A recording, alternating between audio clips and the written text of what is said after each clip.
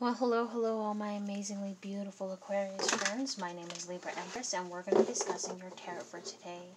Now, remember that this is a general reading, and this is for yours as well as for my entertainment. And also, please don't forget to like, subscribe, and share. That way, you'll always be up to date with the content that I produce, and you'll be a part of our family, alright? Alright. Let's get going, shall we? Now, my beautiful Aquariuses, I actually do not have your layout laid out yet. That's what I'm doing now, which I rarely do. I usually like to save time. It makes the readings go faster, but you know how that goes. So, just shuffling your pile now. Okay.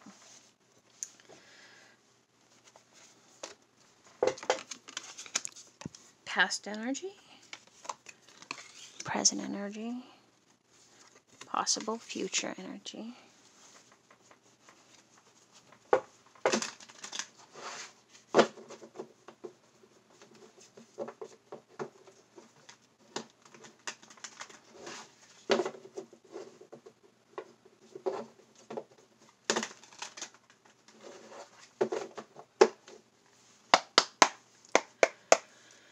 Oh, what is going on with my beautiful Aquariuses?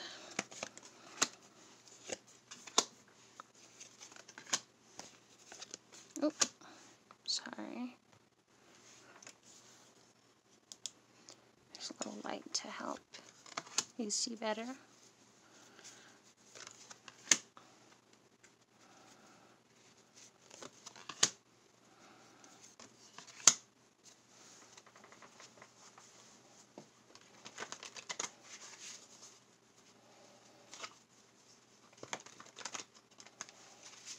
Okay, let's discuss your past, present, and future real quick. Slide these over just a little.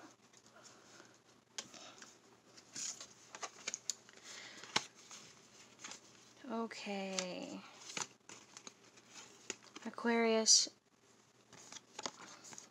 someone's got passion for you, you know, and you also feel like you've got new tasks, a whole new set of energy but you are also dealing with a lot of deception, opportunists, and someone who's a puppet master, right? But you didn't let that stop you because you prospered and be, you know you gained your confidence and independence, and manifested yourself into Empress mode. You didn't get this way by just waking up at the beginning of your journey. No, you went through some serious shit. All right, you learned, you know, to be more fertile, maternal, very successful, right? Now, you do realize that regardless of what's between your legs, whether you're male or female, you have two energies, male and female energy. And you got to level each of those energies up. And you leveled up the Empress, so rock on. Alright? It could also mean you're also dealing with a Libra. Okay? It's your past energy. What's going on currently with you? Ooh, you're dealing with a bit of a player, huh, Aquarius? Okay, so you're looking for a balance, harmony, and yet you're juggling a lot of responsibilities. But at the same time, you're waiting for the cavalry to arrive because you. But here's the thing this Cancer, Scorpio, or Pisces is playing you hardcore.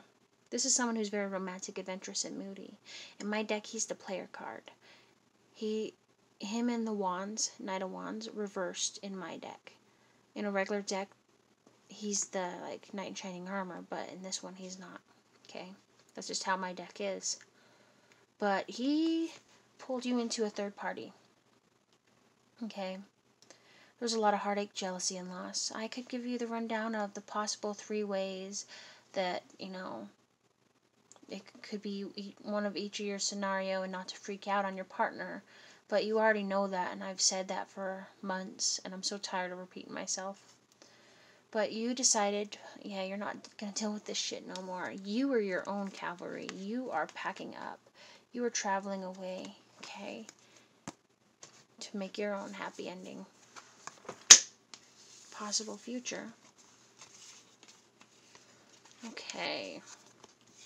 So you want to give your couple love to someone who actually fucking deserves it and you're starting a new relationship and beginning a new journey, or you're rekindling an old flame that, you know, you and them got separated due to unforeseen circumstances, and so you're wanting to, you know, start over. And sometimes starting over is good because you both grow and learn and change, and sometimes it's not good. But I think in this case, there has been a lot of growth, alright? You're starting a new journey with that person wanting to give me your cup of love. At first, you were kind of like, you had so many choices, you didn't know what the fuck to do, and you had to make a decision. Otherwise, a decision was going to be made for you, and you don't like that option. You're also dealing with Sagittarius, but you're also balancing out, right? Cooperation. And you get your wish fulfillment. And this is your card. The star card is you, my beautiful Aquariuses. This is way awesome. Okay? Things are looking up. Now, let's get you the fourth pile that'll tell you all the energy between past, present, and future. Because you know that this isn't set in stone when you get to the future. You see what's coming, and if you don't like it, you can change it. That's what's so great about it. About free will. I'm Talking a little bit slower today because I'm exhausted. so I'm sorry. Alright.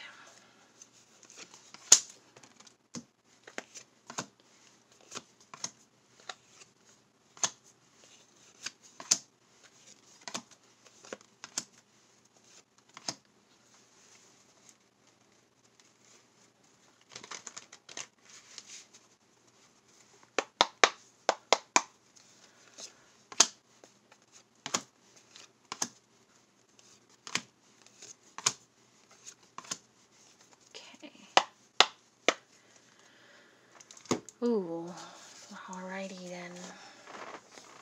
Okay, somewhere along the line between past, present, and future. I don't know you can see that. It's a little bright, sorry. So, while the world's going to hell, you know, you learned your lessons and you're with that person. Who is your past person? Okay, or you've been thinking about the past person. You're saying you're letting go of all the drama, mental baggage, and letting it go but there's a lot of secrets and you need to you know there's a huge mystery. Not everything's being told to you and you've got to seek within pay attention to your intuition. You're dealing with um, a capricorn taurus or virgo someone who is very responsible determined and you know it's a new beginning card. So if you get hungry they know where to take you for food. They, they know the secrets of the trade. You're dealing with a cancer scorpio pisces a bit of a party girl someone who's intuitive devoted and full of emotions you have choices to make and crossroads. Do I go left or do I go right? Alright? You're dealing with a boss lady who is riding your ass. This is a Capricorn, Taurus, or Virgo. Someone who's materialistic, confident, and practical. This person hired you. They saw something in you that no one else, not even yourself, see in you. Okay? And they've been hard on you, but not because they want to be an ass hat. And you're dealing with Taurus energy where you're waiting on news, advice, education, and truth okay?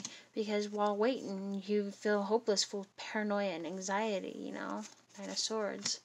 But then there's also devil energy, you're dealing with Capricorn, so temptation, success, and self destruction. Someone's watching you. But you got a soft stalker. Okay? Someone who loves you from afar. I had a lady who posted something about how all stalking is creepy. But that's the thing is that, like, if you like someone, of course you're going to watch them for a little bit and then you're going to walk over and talk to them, you know? You're going to find out what their interests are so you can break the ice. That's a soft stalker. Okay? A hard stalker, which is probably what you're also dealing with here because these two are together. So you're probably dealing with a hard stalker. Is someone who has nothing but toxic energy wants to keep you chained to them. So with these two together, yeah, you're done with a hard stalker, actually. But you've got to weigh in your decision with this love.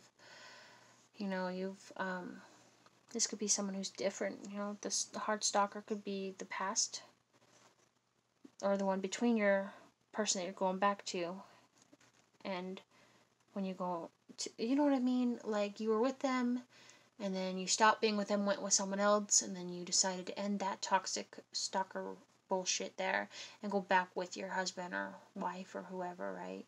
From the past because you wanted to give it a shot again. So you dump the toxicity and you're being watched heavily, right? So going back, you made a decision to think about the past person with a little bit more empathy and love in your heart. Okay, Cancer, Scorpio, Pisces energy. You're looking to go back with your king. And you got the, the lover's card here. So someone's romantic, sex, and blinded by passionate Gemini. Someone that you love. I'm not going to go into detail on this one either. I always talk too much when I get to those cards. Alright, now let's. Oh, bottom of the deck. Almost forgot the bottom of the deck. Okay, so you're done with a two of swords, right? Decision, dis- difficult decisions, different views. Obviously, the weapon choice is horrendous, especially because zombies aren't deaf. But that's only zombie logic. Okay. Real world logic is just shoot and get it over with. But you're very you're coming at things with different viewpoint, you know. And It is a difficult decision it's hard to leave someone that you love but is so toxic that they they just want to hurt you and you know that's bullshit. You can't fix someone okay? Just like you can't expect them to walk in and change you. Why would you want someone to change you? If you love someone you'll make an effort to change yourself to be a better person. They'll make you want to be a better person okay? That's that's the problem with society is you get into a relationship with someone who's who's got so many issues on enough tissues that um,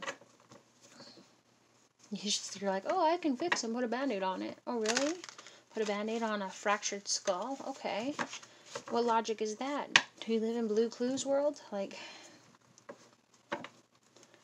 you can't tell someone Swiper no swiping and expect them to listen.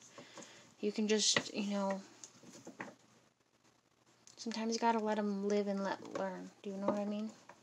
They make a bed, let them lay in it until they decide they want to make it again and change the way they view the world. Because, you know, most people, they view the world as a half empty fucking cup. And we all know that that's dependent on perspective. It's like one man's trash is another man's treasure. Well, one man's half empty cup is another man's half full cup.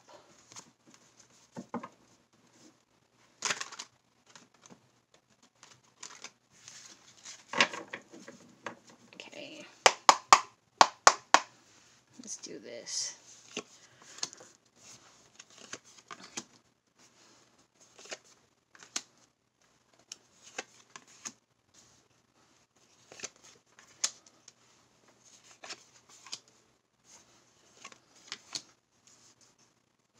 This isn't going to look like a heart. I'm sorry, I don't have the layout.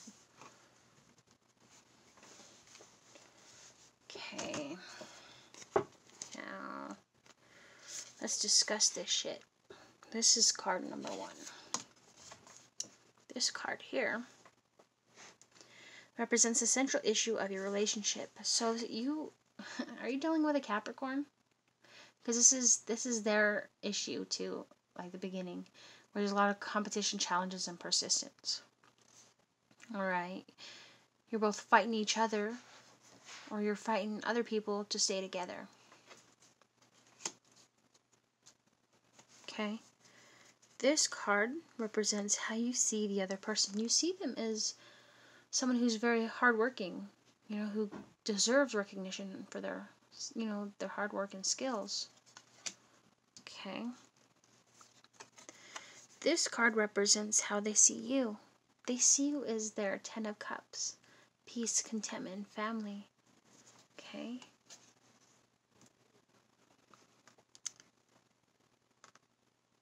this card.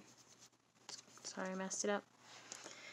This card represents unknown influences on your relationship. So you don't feel like anybody's going to come, there's not going to be any success, right? It's unknown. But now you know that if you work together, you're going to succeed. It just doesn't feel like it at the moment. This card represents where you want the relationship to go You you're not getting what you need out of a situation. You want to get what you need. Yeah, you got everything you want, but you don't got what you need, and what you need is them. Okay? You need a good shag.